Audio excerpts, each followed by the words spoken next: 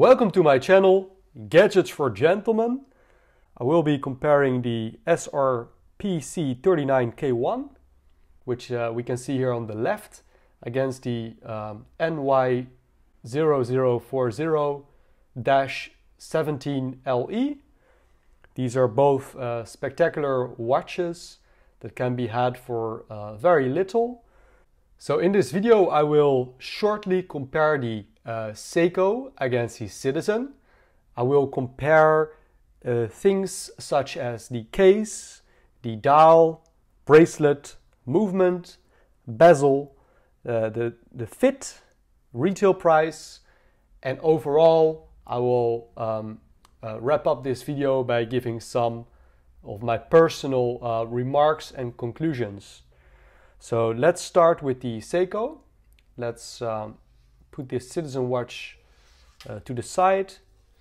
Let's have a look at the case of this watch. So we have a um, thickness of 13 uh, millimeters. We have a diameter, which is uh, this distance. Excluding the crown, we're dealing with 42.3 millimeters. And we have a lug to lug distance, which is this um, dimension from tip uh, to tip, which is about 42 and a half or maybe 43 millimeters. So that is very, very narrow. Um, one more noteworthy thing uh, to show uh, with this case is we can find some drilled lug holes right here and on this side uh, obviously and the purpose of these drilled lug holes are it is super easy to uh, change the strap all you have to do is uh, insert a paper clip or a two bar tool and you can easily press out uh, the uh, spring bar that is attached here in the bracelet. So that is a very useful feature. Then let's have a look at the back of the case. We can find a screw down case back with a beautiful logo of that uh, tsunami logo. Really beautiful. So that is a bit of the case of the Seiko. Now let's proceed with the uh, Citizen watch. So here we have the uh, Citizen watch. Uh, this watch has a thickness of only uh, 12 millimeters. So the thickness of this um, case is um, a whole millimeter thinner than the uh, Seiko uh, Mini Turtle. Now let's have a look at the diameter. The diameter again, uh, this distance, excluding the crown, measures 42 millimeters, which is a tiny fraction uh, smaller than uh, the Seiko uh, Mini Turtle. Beautiful uh, case. Um, to lug distance is 48 millimeters which is quite a bit uh, longer than the uh, Seiko. Let's throw them in one shot. Um, I'm not sure if you can see this accurately, but the Seiko is here, the, the top one, the Seiko Mini Turtle, is much shorter lug to lug. And also, I think the Seiko case, I think it curves down more. So when you have a look at this, uh, this shape of the case, I think there's much more uh, curvature compared to the uh, Citizen, which I find the Citizen to be more more flat. There's there's some curve to it, but not as much as the um, Seiko Mini Turtle. Now let's have a look at the case back. Also, we can see that the, uh, case back is uh, screwed down. And we have a bit of um, a citizen logo. Not as pretty as the Seiko in my opinion. And you can see that the plastic is still on it. So um, we can actually take it off. Ooh, there we go so that is the back of this watch very very simple very plain now let's proceed with the uh, dial. Uh, this Citizen watch, uh, it features a mineral crystal. We have a beautiful sunburst effect on the dial. I try to uh, give you the effect of the dial. Let me try to um, show you what I mean.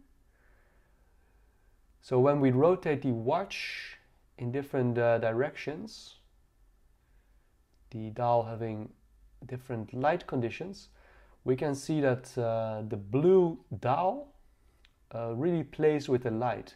So we can see all kinds of um, subtle differences in, term, in terms of um, the blueness of the dial. I think in this angle, the dial of the watch almost looks black. So all in all, this dial is um, very beautiful. It's stunningly beautiful, and the blue uh, is never um, odd or it's it's never standard. It's always uh, changing in different uh, uh circumstances. So definitely this is not a boring dial, but it's very uh, joyful, playful. Um, what else? On the dial, we can see quite some uh, lume applied. Let's try to get a bit closer. Yeah, on the dial here at the hour markers, we see very rich uh, lume applied. The lume is uh, almost as strong as the Seiko lume. We have beautiful hands. The hands are quite short. They don't reach the uh, to the very end. They're, if you look at the second hand, you can see that the second hand is missing about um, a millimeter or so to reach the uh, outer ring. We have some subtle uh, subtle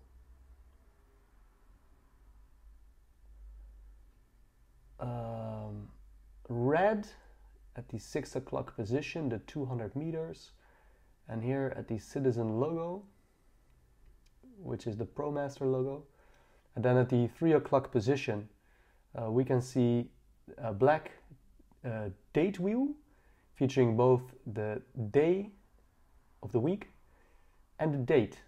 So yeah, that's a bit of the, the dial of uh, this citizen. Now let's proceed with the uh, Seiko. The dial of the Seiko is uh, completely different. The blue does not play with the light uh, as much as the uh, Citizen. Um, I think it's rather uh, matte blue and it matches the bezel very pretty dial. I think it's um, I think it's more corrupt perhaps than the Citizen uh, somehow, and um, it has beautiful applied uh, markers with um, a whole lot of uh, lume.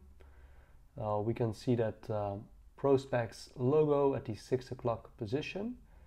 And this is quite funny when the second hand goes uh, through the Cyclops, it creates this rather nice effect of, um, uh, you see, this magnification. I think it's pretty cool uh, to see.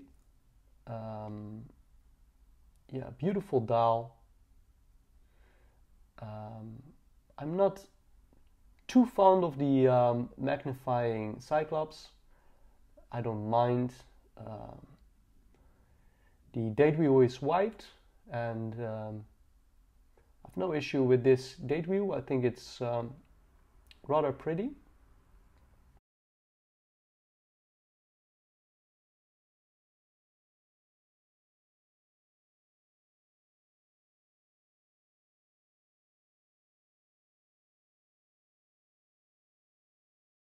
Now let's proceed uh, with the bracelet. So here again, the uh, Seiko um, mini turtle comes on this beautiful uh, rubber strap. The rubber strap is, is um, thick and it is super soft. I think it's very comfortable. And it has quite some nice um, hardware attached. Here we can see this uh, keeper with the uh, Seiko uh, brand name uh, lasered into it, I guess. I think it's very pretty. And we have a very sturdy, uh, very sturdy clasp. Um, yeah, just really, really something. Um, we will proceed with the um, uh, Citizen in a bit. Just wanted to show you the difference in terms of that uh, clasp. The, the Seiko clasp is huge and I think that's very pretty. Now let's uh, have a look at the uh, number of uh, holes. You can see probably you'll find a very comfortable fit. And lastly, uh, at the very uh, bottom of this uh, bracelet, we can find that beautiful Seiko logo. Let me see if we can focus here we can see the beautiful logo that we can also see on the case back.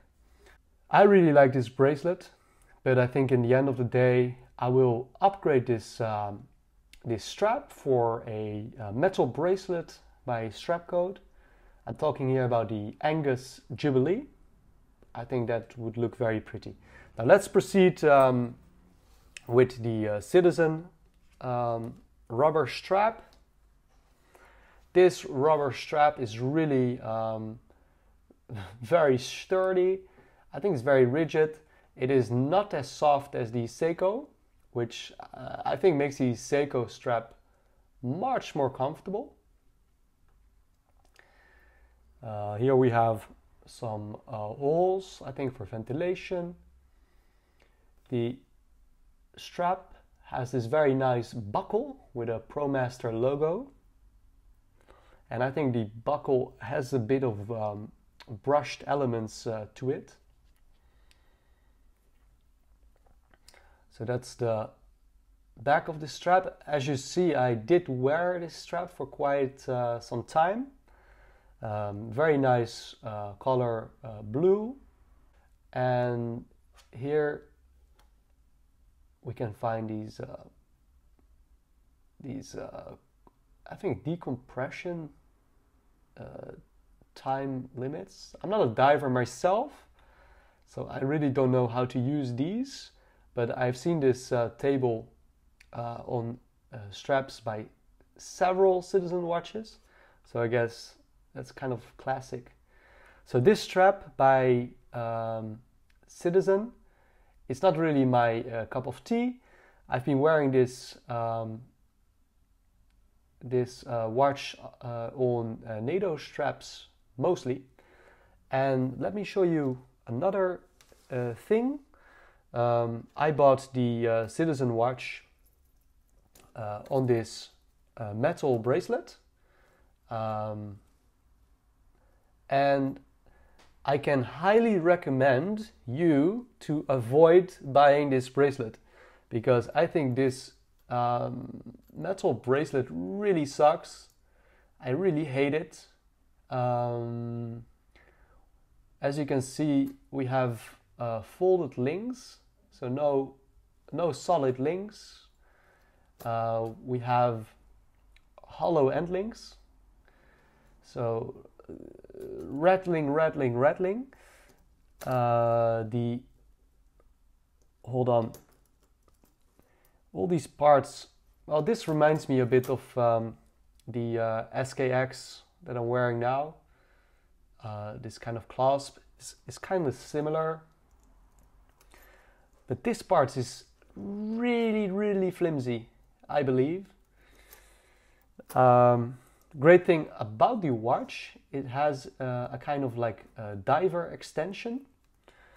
So I guess that's the only nice thing about this watch, this uh, this this diver uh, extension. Uh, but I don't find it to be very solid or convincing either. So I got this bracelet for free. It came with the watch, but I wouldn't definitely uh, go and buy this bracelet.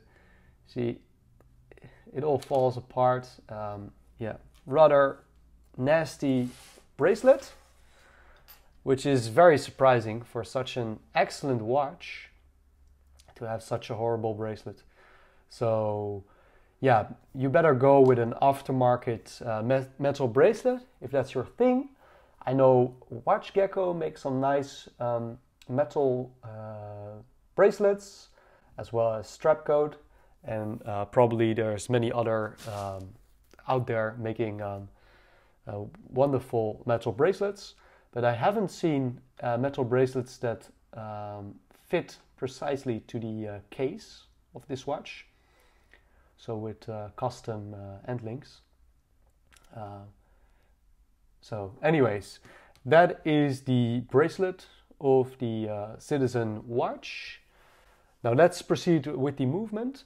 The Citizen watch runs on a uh, Miyota movement, the caliber 8203.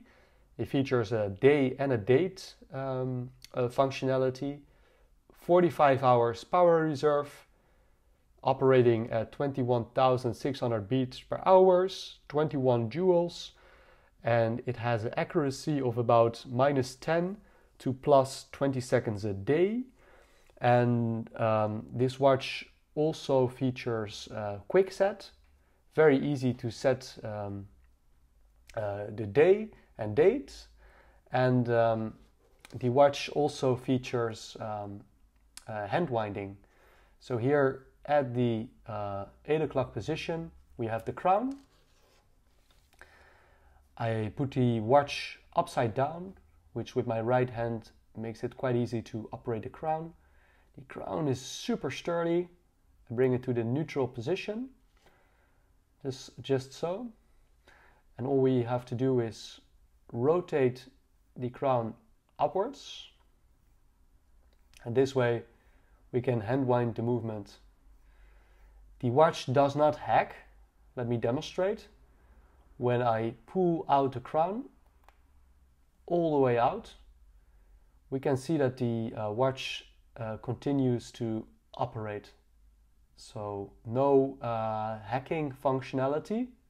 Hacking is quite useful at times to precisely set the time, to precisely set the um, second hand um, yeah, so no hacking. We can press it down again and bring it back to the neutral position. So Miyota movement, um, I think together with the um, uh, movement uh, 7S26, which uh, we can find in, for example, the Seiko SKX 013, I think the uh, Miyota movement is very, very sturdy and it, it has been um, uh, proven that it can last for a very long time even without servicing this watch. So that's a very um, well-known uh, movement. Now let's go to the uh, Seiko. The Seiko has the in-house movement caliber 4R35. It features manual wind and hacking. It has a power reserve of 41 hours so four hours um, less compared to the um, Citizen watch. It operates uh, at a frequency of um, 21,600 beats per hour. It features 23 jewels and it has an accuracy of minus 35 to plus 45 seconds a day.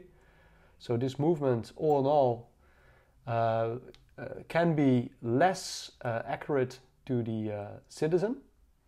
Um, I haven't tested accuracy of these watches myself, so I'm basing this just on the uh, uh, specifications uh, as stated by um, these companies.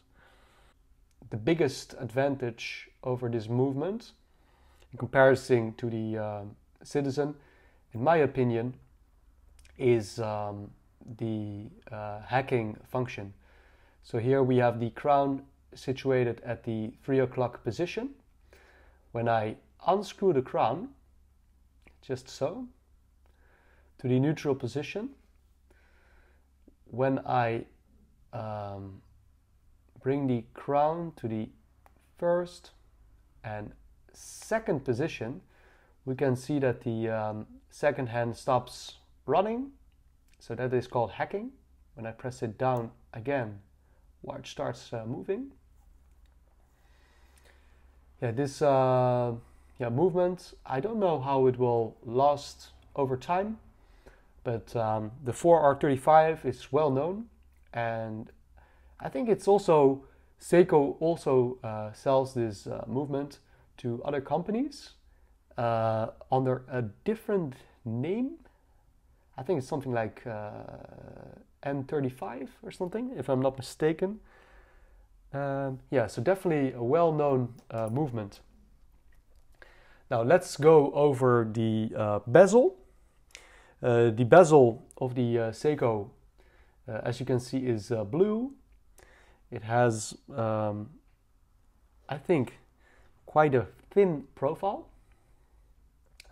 so what I mean is the height of the bezel itself um, is not enormous.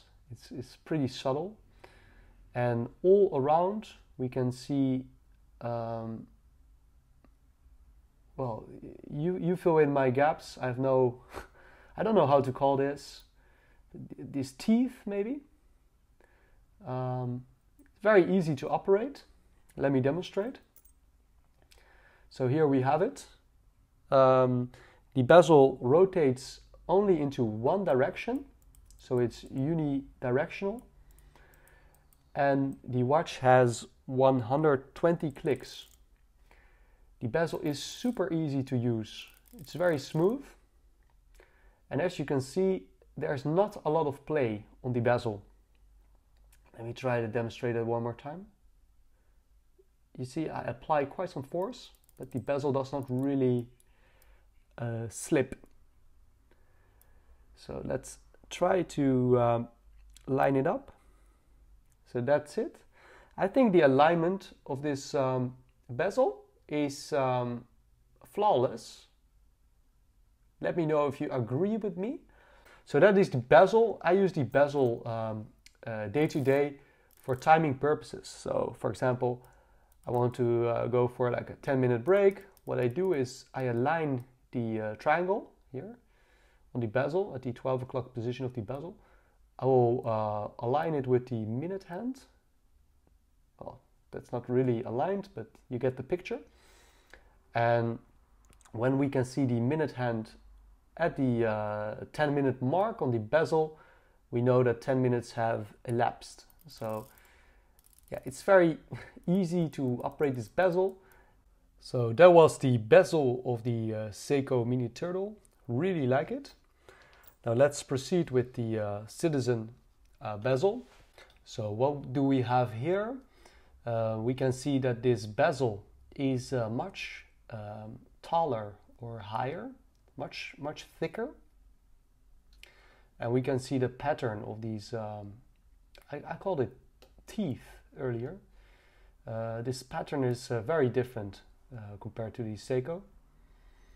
This bezel has a um, uh, black uh, insert. And the bezel um, operates with uh, 60 clicks.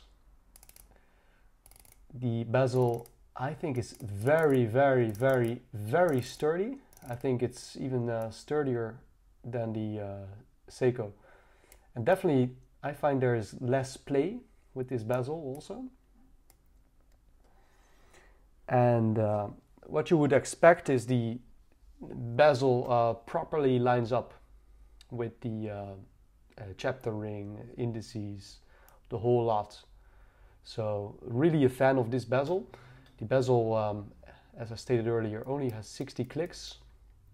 Uh, I don't really mind. Um, yeah, this, this thing works very well. It definitely looks a bit more aggressive. Um, definitely looks more uh, tastic than the Seiko, which is um, a much more subtle. So that is the bezel. Now uh, let's have a look at the fit of uh, these watches. Now let's start with the um, uh, Citizen uh, ProMaster. Let's throw it on the wrist and share with you how it fits. So first of all, I have a six and a quarter uh, uh, inch uh, wrist and um, I wear it here as you can see. I think this is the, the fourth uh, hole of the rubber strap. Yeah, that's correct. And uh, this way it gives me a nice fit. So uh, here we have it on wrist. Uh, as you can see, I think this uh, watch wears um, quite nice. Let me uh, zoom out a little bit. Maybe that's better. So as you can see, I have quite tiny wrists. And with this um, uh, watch, wears, I think it wears very well. Let me zoom out even more uh, you can see that the lug to lug distance uh, is shorter than my uh, wrist distance. So I think I can get away with uh, this size. Yeah, I think it works uh, quite well. One more time. Yeah, this is feels very nice. And when I'm wearing uh, dress shirts, I can even uh, tuck away the watch. So that's um, a nice bonus. Now let's proceed with the uh, Seiko. Here we have the Seiko with that beautiful butter smooth uh, rubber strap. Uh, plenty of uh, holes. Let me demonstrate. I'm wearing this watch also on the fourth uh, hole beautiful soft rubber, beautiful hardware, uh, this beautiful keeper. Now let's have a closer look. Let me uh, lift uh, the camera again to give you um, a better uh, overview and those were my notes here on the left. So uh, let's have a closer look. Um, this watch definitely feels and wears uh, even smaller than the uh, Citizen ProMaster. Um, you literally hardly feel uh, this watch at all. I think it's really uh, spectacular. Really love how this feels and very comfy. So that's the um, Seiko Mini Turtle on this uh, six and a quarter uh, inch. Uh, one, one, one little detail when you, can you see when I'm lifting up my hand this way, um, the crown should dig into my hand. Doesn't really happen. Um, but talking about how this watch fits, I think with the uh, uh, Citizen watch with the crown here on the left side, I think um, uh, that is even better than having the crown uh, on the three o'clock position in uh, talking about comfort. Um, regardless, I think the fit of this watch is excellent. And uh, one more thing, I'm very, uh, uh, what can I say? I'm very um, curious what these things weigh. So here I have a. Uh, we have the citizen. Let's toss it on the scale uh, here. We're talking about grams. We're dealing here with uh, 96 grams on the original uh, rubber strap. Now let's take off the uh, citizen. Uh, pardon me, the Seiko. So there we go. Seiko, are you ready? Let's go. So, yeah, these watches in terms of weight are actually very similar. This watch weighs uh, 100 grams, so 4 grams more compared to the uh, Citizen. So, as you see, I've been wearing lots of watches in the sun, so that's funny. Okay, um, so that is uh, fit. So let's talk about um, uh, prices. So the uh, retail price of the uh, ProMaster that we have here on the left is uh, 240 US dollars. I bought this watch on uh, Chrono 24 with the uh, very uh, dreadful metal bracelet for only 100, 180 euros here in the Netherlands from a wonderful jeweler. Now let's talk about the uh, Seiko Mini Turtle. This particular version can be had for uh, 360 uh, US dollars and it is widely available. I bought this uh, piece uh, second hand. It was only used um, very briefly, I think only a couple of months, and I bought it for 263 euros. So uh, let me uh, conclude.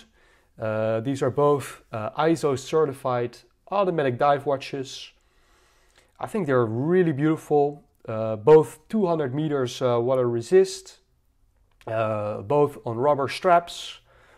Um, I think the clear winner in terms of straps has to be Seiko. This strap is just beautiful. Don't like the uh, rubber strap on the Citizen, but it's not bad.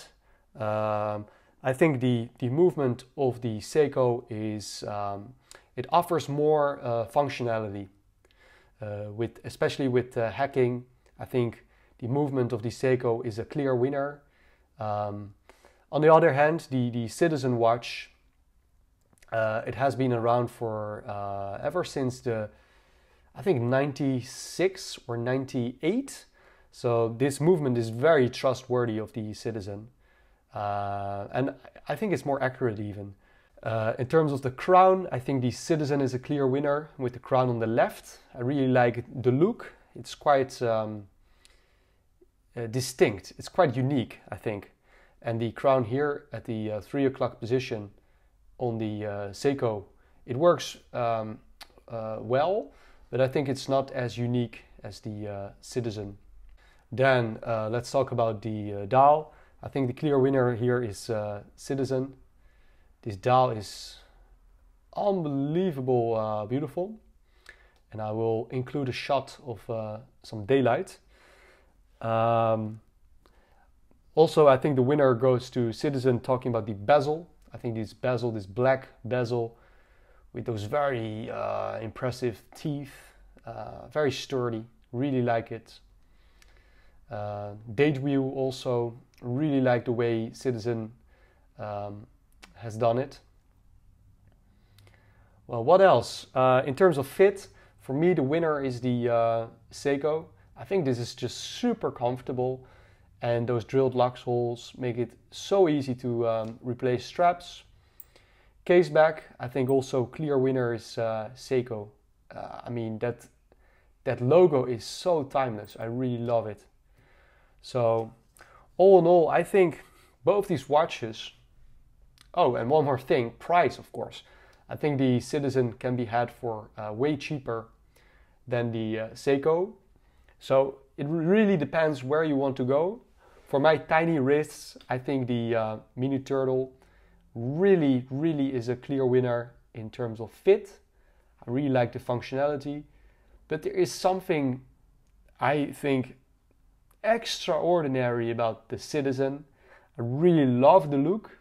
So I think the winner goes to uh, to Citizen uh, in terms of aftermarket strap options. With the Mini Turtle, you have uh, more options. I spoke about uh, Strapcode Angus Jubilee. Uh, I think it look looks uh, wonderful. I don't like the original Seiko metal bracelet. Um, not the quality is not as uh, on par with the uh, Strapcode, in my opinion. Thank you so much for watching. I hope you enjoyed my video. I hope it was helpful to you. If you have any questions, then um, hit me up on YouTube or on Instagram. I will get back to you. Um, again, these were my personal opinions. I think you can't go wrong with any of these. Uh, truly love them both. And um, I hope to see you back on my channel uh, real soon. Have a wonderful day and uh, take care.